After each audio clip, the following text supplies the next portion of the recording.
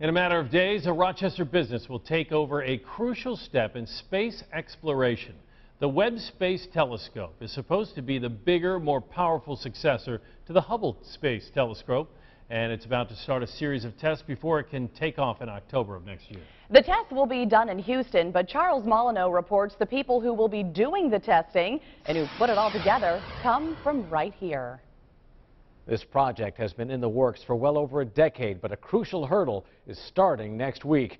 And a longtime hometown Rochester business, Harris Corporation, is pulling it all together and making sure it actually works. It's the next flagship mission for, for NASA astrophysics. When the James Webb Space Telescope blasts into space late next year, it could open up a view of the universe that takes us way back. Basically back about 14.3 billion years. Believe it or not, there's still light from the Big Bang traveling through the universe. But the Webb telescope and all its components first have to go through a grueling series of tests.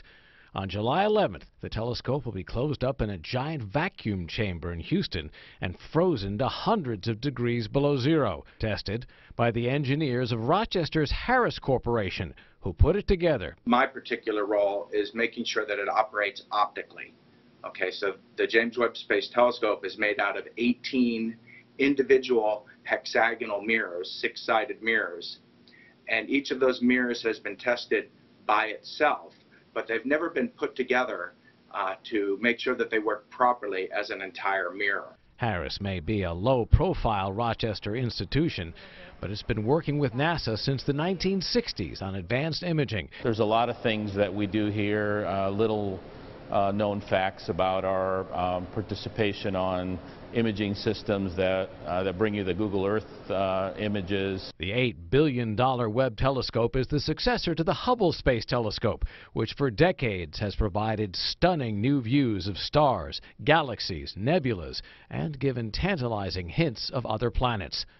The Webb is almost three times the size of Hubble, and instead of orbiting the Earth like the Hubble does, Webb will go out a million miles to a stable point in space where its honeycomb of beryllium mirrors can scan the infrared spectrum for the farthest reaches of space. By looking at this light that's all traveling around, you can try and understand um, the formation of planets and the formation of galaxies that, that came out of the dust of the Big Bang. More important, engineers say, are the breakthroughs we haven't even thought of, which Webb will discover once it's up there.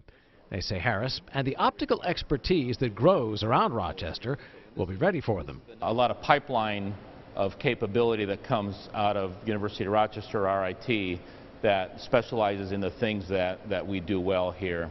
Uh, the fact that it's all in Rochester makes us a very unique and very special community here uh, within uh, this industry. And once the Webb Space Telescope goes up, the Harris engineers won't get much rest. They're already online for their next big project for NASA, the W-FIRST Space Telescope, which will scan the heavens for dark energy.